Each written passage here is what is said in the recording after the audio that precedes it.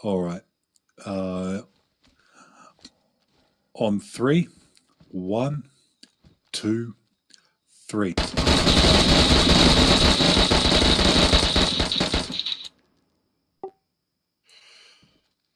That was a bit of firepower. There you go. Well, I'll, I'll post those. I've got a couple. Let's see which